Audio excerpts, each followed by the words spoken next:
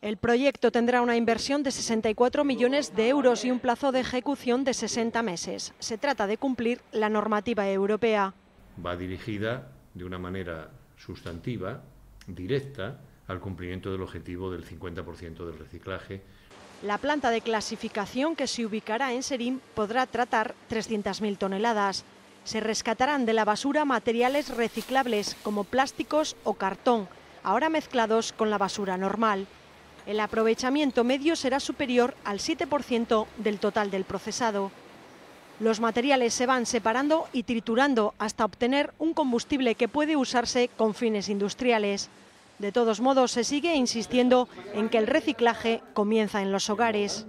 Volvemos a recalcar que el plan de residuos no es un plan del Gobierno, no es un plan de la Administración, es un objetivo de ciudadanía.